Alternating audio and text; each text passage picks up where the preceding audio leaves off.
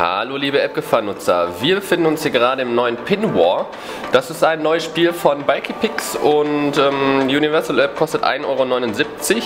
Ist eine Art Flipper, eher so ein Arcade-Flipper und äh, wir wollen einfach mal schauen, was man hier machen kann. Wir haben einmal ein Quick Battle, das Battle und Missions und wir starten einfach mal hier in einem schnellen Spiel und ähm, können halt aussuchen, ob wir alleine gegen den Computer spielen möchten oder zu zweit an einem Gerät. Das macht vor allem auf dem iPad Sinn. Auf dem iPhone ist es etwas klein geraten, aber da funktioniert es auch. Ähm, fürs iPad ist es halt eindeutig besser gemacht. Wir spielen jetzt hier mal alleine und sehen halt schon ähm, den Flippertisch. Wir spielen unten, der Kollege oben und ähm, wir haben hier Leben an der Seite und müssen jetzt schauen, ähm, dass wir halt möglichst gewinnen. Und dazu kommen jetzt diese Art Bälle, das ja schon fast keine Bälle mehr sind, eher so, so Sternschnuppen mit einem Schweif oder sowas ähnliches. Da haben wir die erst schon verloren. Und ähm, es gibt halt so ein paar ja, Hindernisse im Level. Wie ihr seht, schießen wir hier gegen ähm, so ein paar Schranken, die auch manchmal nützlich dafür sind, die den, dass der Ball beschleunigt wird.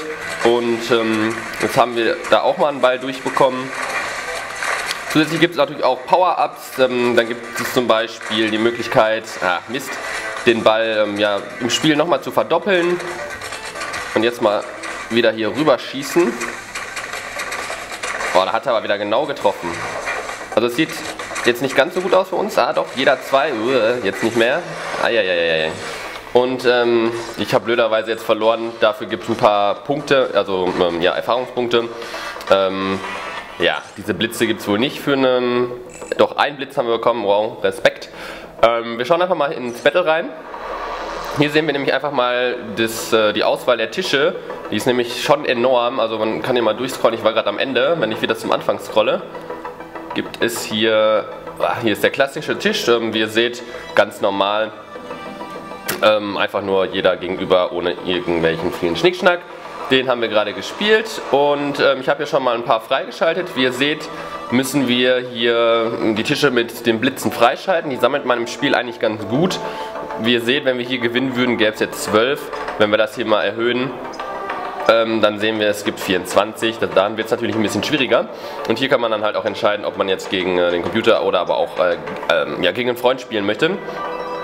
Und hier kann man auch sagen, okay, ich möchte vier Bälle, einen Ball und so weiter. Und ähm, ich würde sagen, wir gehen einfach mal hier in den Tisch nochmal rein. Ups, da habe ich schon drauf gedrückt. Ähm, und schauen einfach mal, wie der aufgebaut ist. Dann seht ihr nämlich zum Beispiel, wir haben rechts und links jeweils ähm, ja, ein Battle nochmal zusätzlich, indem wir hier versuchen, mal den Gegner zu plätten. Und wie ihr seht, ist jetzt der Ball links. Und wenn's, wenn jetzt wahrscheinlich mehrere Bälle ins Spiel kommen, dann wird es natürlich kompliziert, da man rechts und links darauf achten muss. Und ich bin hier gerade schon ordentlich am losen. Ach Mist, das war natürlich wieder die falsche Seite. So, jetzt links und hier auf der Seite auch noch. Jetzt sind beide auf der anderen und wie ihr seht, können wir hier in der Mitte ähm, ja, die Schranken durchbrechen. Ach Mist, da ist er wieder weg. Um dann auch später, wie ihr seht, rechts, links einfach die Bälle rüber zu spielen. Und ähm, ja, das erfordert schon ein bisschen Multitasking, wie ihr seht. Ähm, wir haben jetzt sogar gewonnen und dafür gibt es schon ordentlich Blitze hier. Ich weiß gar nicht, wie viele das sind. Grob geschätzt 30. Und ähm, wenn wir rausgehen, könnten wir damit zum Beispiel ähm, einen neuen Tisch freischalten. Wir haben jetzt 94, wir hatten gerade glaube ich 58, da waren irgendwas um die 30. Und ähm, ihr seht, kann man hier noch weiter scrollen und sieht auch, was noch dazu kommt. Ähm, es gibt halt noch ein paar extra Flipper hier, die sind zum Beispiel an der Seite. Die Steuerung ist halt super einfach. Es gibt diese drei Layouts, einmal in ähm, Blau, Grün und ähm, Orange. Und ihr könnt euch einfach mal hier die Tische anschauen. Die kosten natürlich jetzt zum Beispiel 300. Das ist schon ordentlich. Ähm, man kann aber ohne In-App-Käufe auskommen. Es gibt natürlich welche für die Blitze.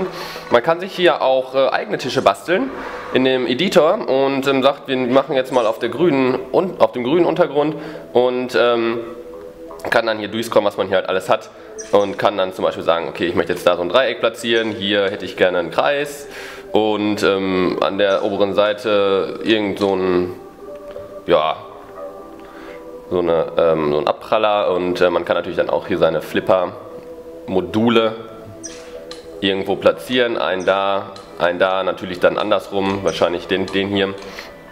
Das ist ganz nett gemacht, man kann die Tische speichern und ähm, kann auch, wenn es genügend Tische gibt, auch Tische von anderen generierten User-Spielen, aber hier ist halt einfach noch nicht viel.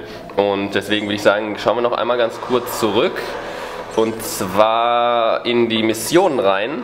Denn hier kann man auch ordentlich Blitze sammeln. Hier gibt es halt ein paar Missionen zu erfüllen. Entweder alleine oder zu zweit. Da ich jetzt hier alleine bin, sage ich einfach mal Beat AI. Und ähm, ja, jetzt gibt es hier einfach eine einfache Mission. Wir müssen gegen den... Ähm, wow, wow, wow. Gegen den Gegner hier gewinnen. Und irgendwie ist die Steuerung hier genau andersrum.